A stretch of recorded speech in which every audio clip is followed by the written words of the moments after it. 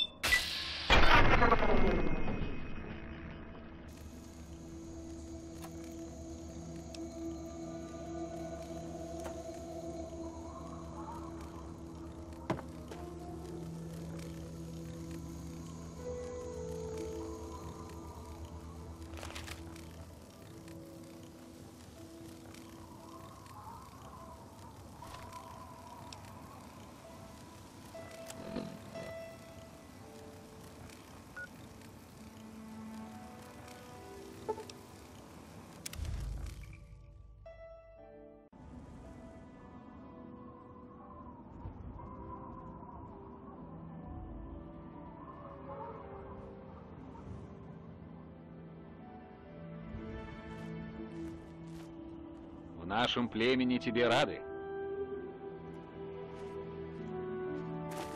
Воистину, мать Панга не спаслала тебе мудрость, и разум твой был открыт.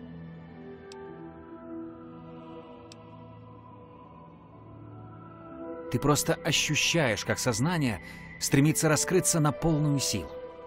Это чувство отсутствия границ. Предела нет. Ну да, хоть на теле и останутся шрамы от обряда, твоя душа навеки окрепла от этого опыта. Добро пожаловать в наш собор. Заходи, о просветленный брат.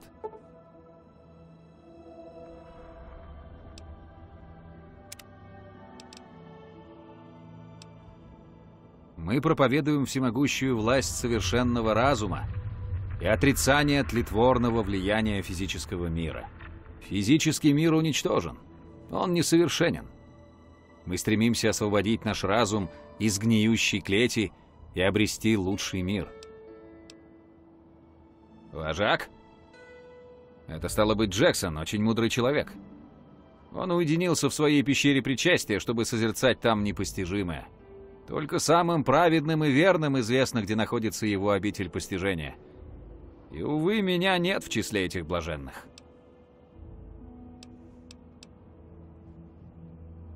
Самому просвещенному из нас открылось, что судьбе угодно, дабы особняк был сожжен дотла. Это дар от самой Земли, в знак того, что мы достигли равновесия с природой и высшими планами. Она ощущает, что мы ищем освобождения от тлетворного влияния физического мира и поощряет наши стремления. Увы, только достойный может войти в его обитель медитации. Он не счел нужным посвятить меня. Благослови тебя, Господь!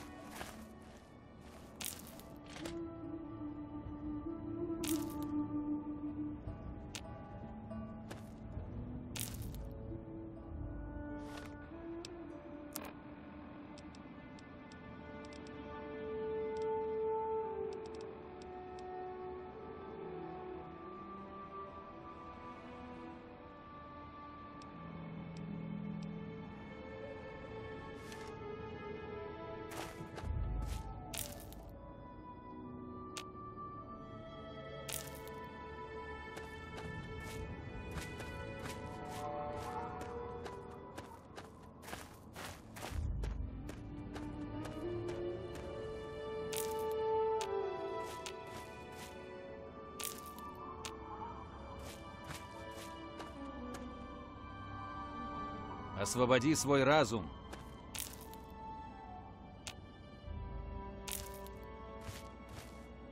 Мир тебе.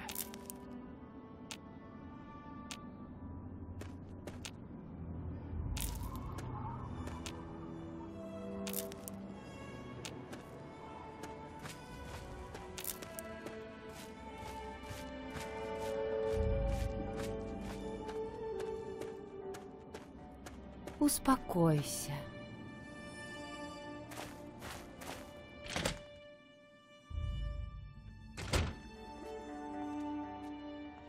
Мир тебе!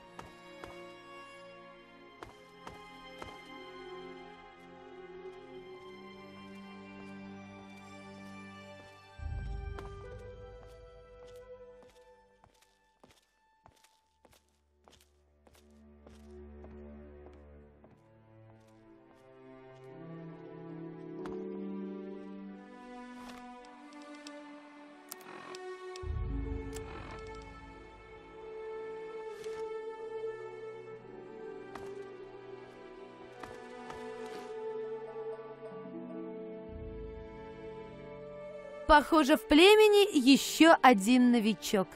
И ты даже можешь складывать слова в предложение. Тебе повезло. Эй, я вполне могу оказаться не в себе.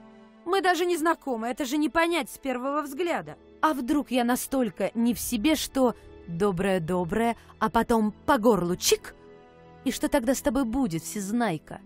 Удивленные глаза и дырка в горле, вот что. Но я не овощ, так что, можно сказать, вполне в себе. Остальным не так повезло, когда им раскроили башку. Ты точно нормально себя чувствуешь? Пощупай шрам у себя на голове. Он появляется у всех после похода в эту трясину. Ну, знаешь, последний этап обряда. После того, как ты вырубаешься, один типчик приносит тебя обратно, вскрывает тебе череп и освобождает твой разум. А потом он вырезает тебе кусочек мозга. Считается, что это та часть, которая сдерживает тебя, но только это не всегда работает, как задуманно. В любом случае, ты выглядишь живенько. Добро пожаловать в племя. Меня зовут Надин.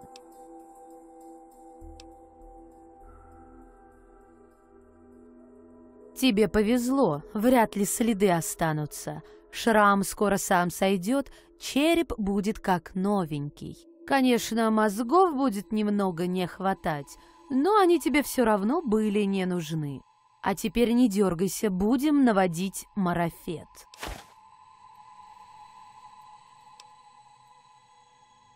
Все пока еще немного в тумане, но у меня есть пара идей.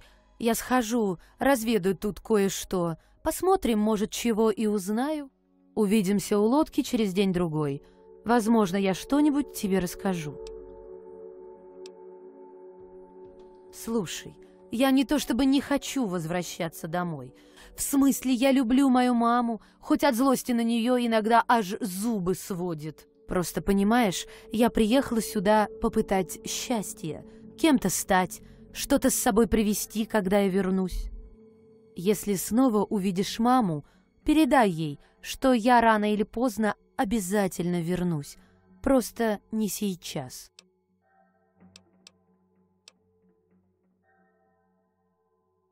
Опа-опа-опа! Это все Джексон со своими завиральными идеями. Я-то своей шкурой рисковать не стану. В прошлый раз, когда я слишком близко подошла к тому особняку, какой-то старый гуль спустил на меня собак. Да пошло оно! Думаю, удалился в свою волшебную пещеру для размышлений. Нам не позволено знать, где это. Он говорит, мы недостаточно просветлены, чтобы понять. Как же меня все это бесит! Мне казалось, что здесь меня ждут магия и наркотики, а оказалось та же чушь, что и везде. Наверное, потому я и проследила за Джексоном до его дурацкой пещеры. Я тут всего около недели, но уже готова послать эту кучку идиотов. Я уже сперла столько панги, что на всю жизнь хватит. Слушай, Если тебе все еще нужно найти укрытие Джексона, я могу помочь. Знаешь, меня тут на самом деле ничего не держит. Его пещера под собором, но ее не просто найти. Возьми этот ключ, чтобы попасть на разбитый корабль у восточного утеса. Ага, хватит трепаться. Пошли.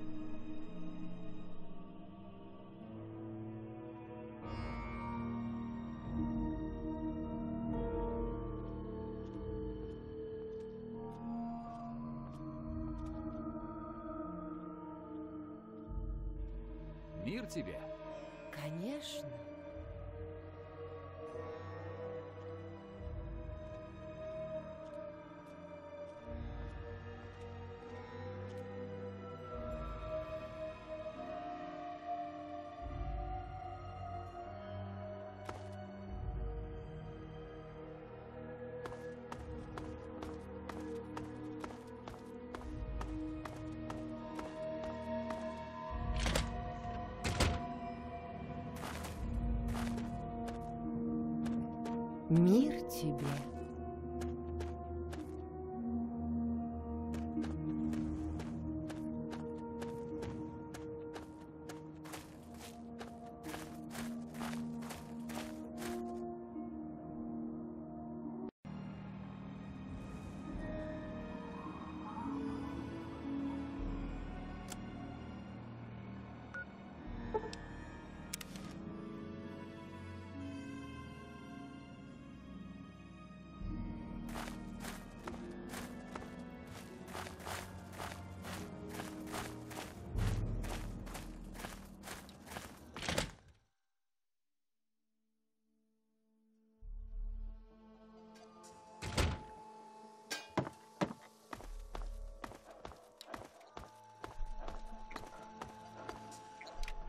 Племя уже приняло тебя?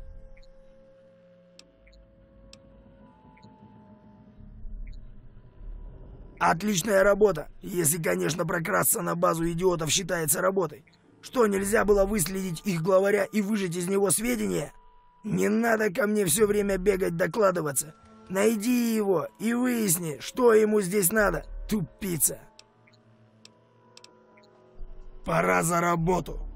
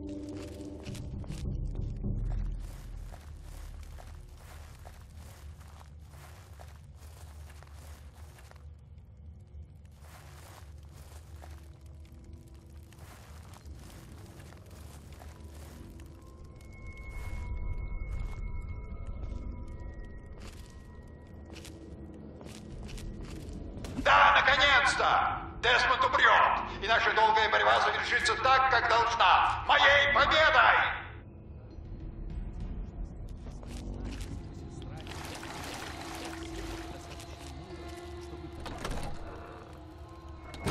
Нет, не высшее знание простофиля. Психическое доминирование. Это станет возможным лишь когда будет уничтожена глушилка Десмонда. Не беспокойся, посылка. Мы заново осветим особняк и уберем все нечистоты, мешающие твоему совершенному учению. Ну ладно, уничтожайте особняк и эти ваши нечистоты. Просто вырубите эту глушилку, и я наконец-то избавлюсь от вас, идиоты. Да, мы должны быть свободны от всех ограничений.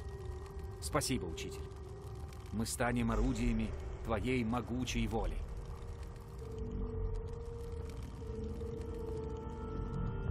Привет. Ты искатель высших планов, полагаю. Что привело тебя сюда?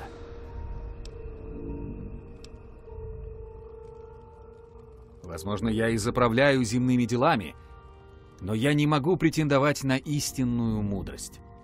Я получаю приказы от высшего учителя. Будь это пути к исследованию высших планов или решение об уничтожении вредоносного гуля, вся мудрость исходит от наставника.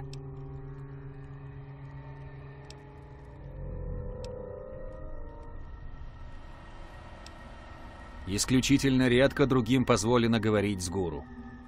Многие слишком глупы, чтобы понять великую истину высшего разума. Но я чувствую в тебе огромный потенциал. Возможно, тебе присуще все, что нужно, чтобы принять его учение и его мудрость. Он является здесь, на высоком уступе в этом гроте. Отыщи его, и истина откроется тебе.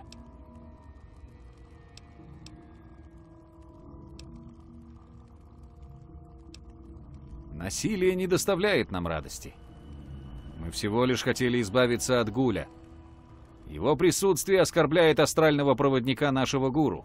Но я не могу сказать наверняка, чем обитатель особняка навлек на себя такое разрушение. Если хочешь понять, спроси у наставника. Да, поговори с ним. А я встречусь со своим племенем. У нас столько работы.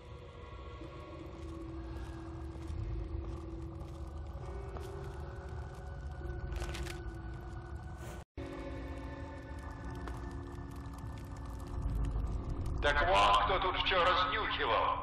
Видок не очень, но ты хоть не пускаешь слюни. Это меня устраивает. Что ж, возможно, от тебя будет больше пользы, чем от этого напыщенного спиритуалиста и его племени идиотов.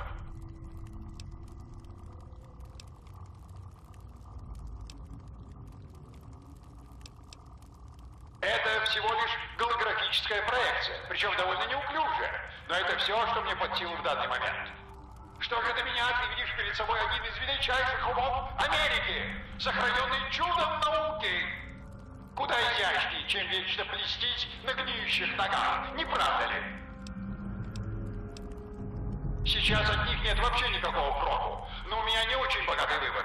Они не способны убрать одного единственного пуля.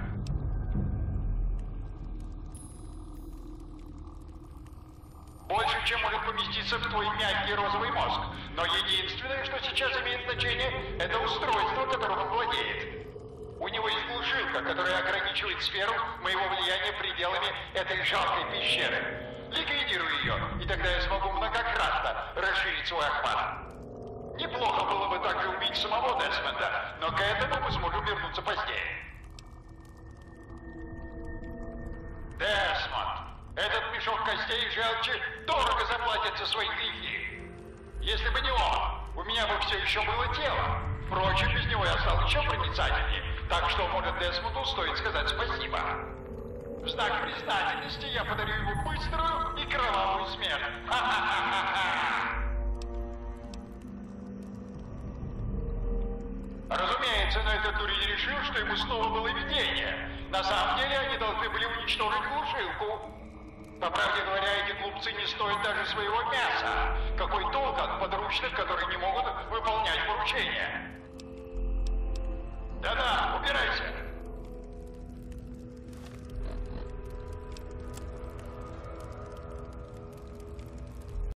Я так и знал. Я знал, что за этим стоит этот паршивец. Столько лет прошло, он наконец-то поднял свою уродливую голову. Так я ее же и срублю. Это я в переносном смысле, конечно. Он? Я должен был догадаться. Мой старый соперник, так близко к его семейному поместью. Только он мог так сглупить. Когда-то он был человеком, его звали профессор Келверт. Келвертам принадлежала половина Мэриленда, когда еще вообще был Мэриленд. Келверты имели влияние во всем мире. Они практически купили правительство США. В лучшие дни не менее трех Келвертов были сенаторами, семеро конгрессменами и двое губернаторами. У них был даже популярный кандидат в президенты, пока громкий скандал с собакой не вынудил его сойти с дистанции.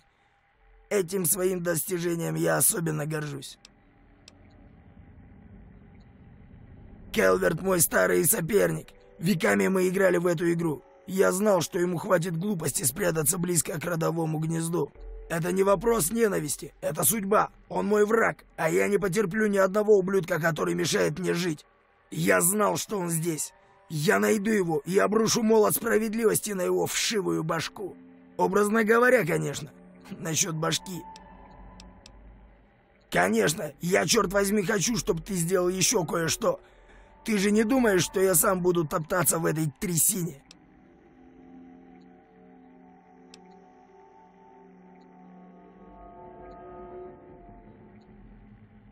Ты чертовски прав, я такой. А теперь за работу. Итак, эти полудурки получают сообщение от профессора, верно? Значит, он где-то рядом, чтобы передавать свои сообщения. Но без этих мерзавцев он мало на что способен сам. Значит, мы лишим его возможности командовать ими, и ему придется поднапрячься. Может, тогда я найду этого вертлявого слизняка и прикончу его.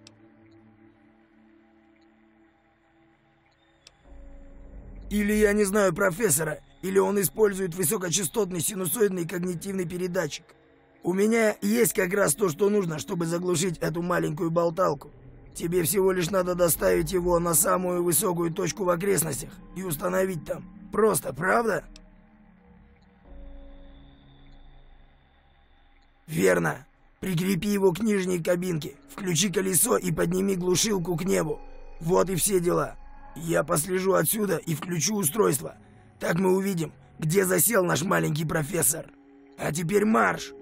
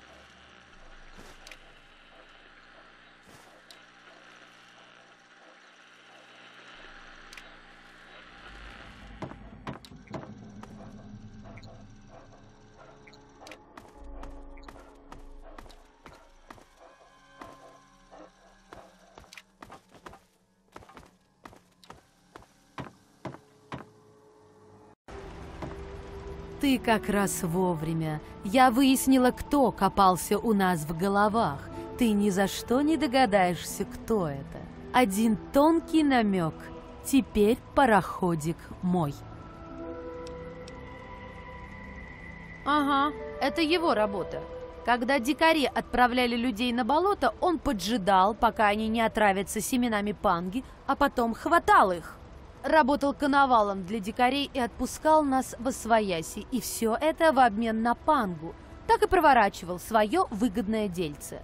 Но я решила, что тебе тоже захочется отомстить, так что посадила его под гражданский арест до твоего прихода.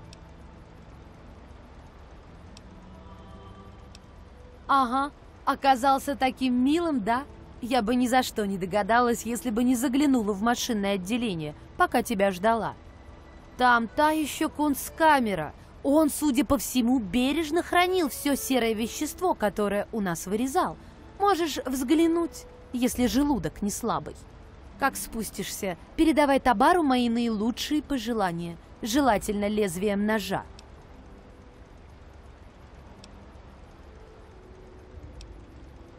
Во-первых, заберу корабль себе. Я уложила Табара так, что кораблик мой. Это главное морское правило. Так что останусь с кораблем, грузом панги и стрёмным шрамом. Я хотела приключений, я их на всю жизнь получила. Думаю, я заберу себе корабль. Буду плавать куда угодно и всегда возвращаться на пустоши проведать маму. Неплохая жизнь, а? А тебя я всегда буду катать бесплатно. Теперь, когда у меня есть отличная лодка, думаю, теперь можно и домой. На некоторое время. Мама глазам не поверит, когда увидит мою добычу. Это что, свидание? Только сойди с места, и в тебе будет лишняя дырка. Что? Не о чем рассказывать. Я сбежала из дома мир посмотреть, себя показать. Этим и занимаюсь. Понятно? Ага, хватит трепаться. Пошли.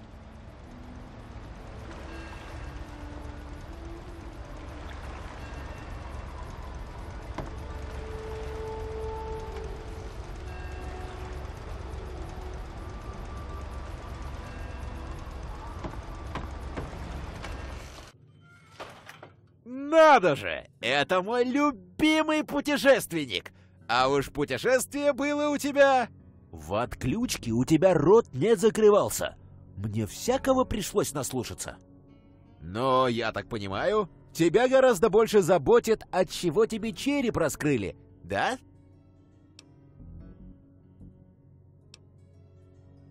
Убийство? Ай-яй-яй, что бы сказал твой отец? Я думал, он тебя лучше воспитал. Под наркозом от тебя только о нем и слышно было. И, судя по твоим словам, он был бы очень, очень разочарован, узная он, кем выросло его чадо. Кажется, он мало тебя порол в детстве. Может, я смогу наверстать упущенное? Какого черта?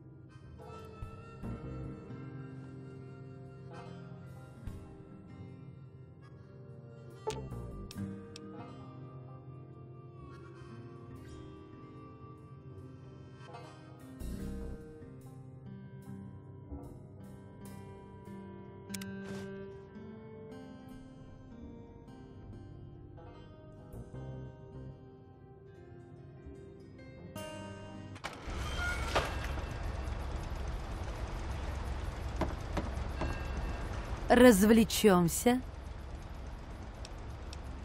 Ага, хватит трепаться. Пошли.